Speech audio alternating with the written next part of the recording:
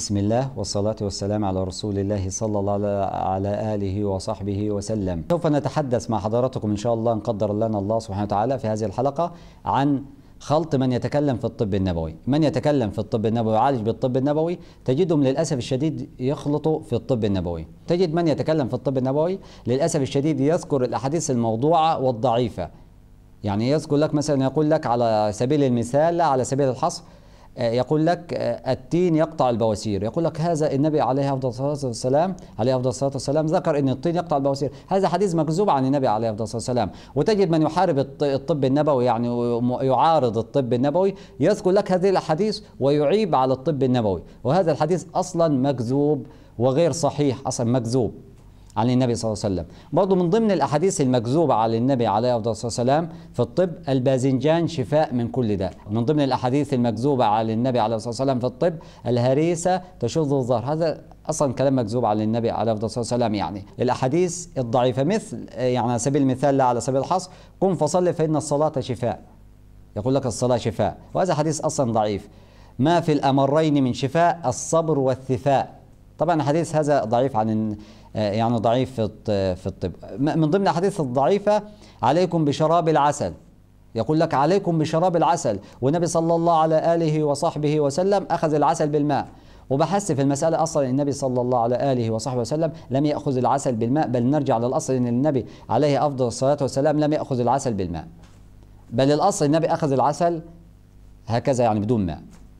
دي من ضمن أول شيء يبقى ذكر الاحاديث الموضوعه والضعيفة في الطب النبوي. ثاني شيء ذكره آه، يعني ثاني شيء من خلط بعض من يتكلم في الطب النبوي ذكر الايات والأحاديث التي لا يوجد بها دلالة علاجيه بمعنى يقول لك الزنجبيل من الطب النبوي. طب إيش دليلك؟ يقول لك الزنجبيل مذكور في القرآن فهو من الطب النبوي.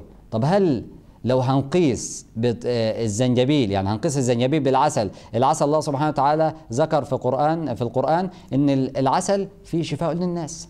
أما الزنجبيل الله سبحانه وتعالى ذكر إن الزنجبيل فيه شفاء للناس. وأنا أتكلم كأصول فقه وتأصيل إن الزنجبيل ليس من الطب النبوي والكافور ليس من الطب النبوي. طب هو آه، مذكور في القرآن ذكر للقران يدل على انه يوجد به فوائد فوائد غذائية وقد يكون في. وفي فوائد علاجية. أهلا وسهلا في فوائد علاجية ولكن اصوليا لا أستطيع أن أقول إن الزنجبيل والكافور وغيره مما ذكر في, القرآن والسنة وليس توجد به دلالة علاجيه أنه من الطب النبوي وهذا الذي دفعني ان بفضل الله أعمل هذا ال- الكتاب اسمه صحيح الطب النبوي العلاجي من منظور معاصر.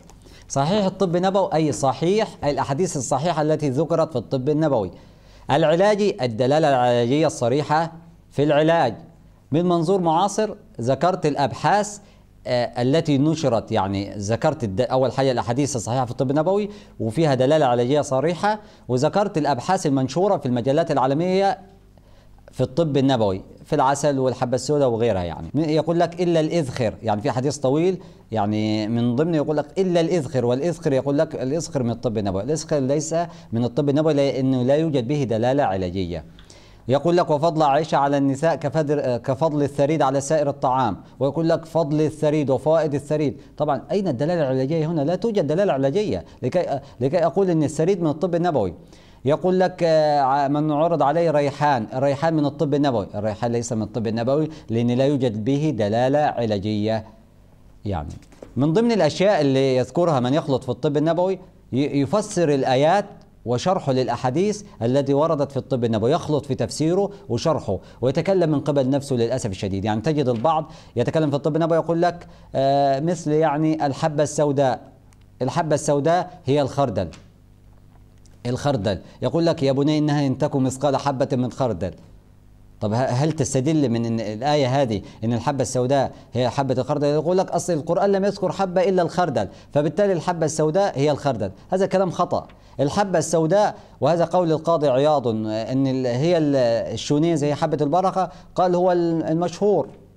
وقال الإمام النووي في شرح المسلم قال هو الأشهر الصحيح ال- المشهور الذي ذكره الجمهور. فالحبة السوداء هي حبة البركة ده كلام قطعي ونهائي مخلوط بالماء.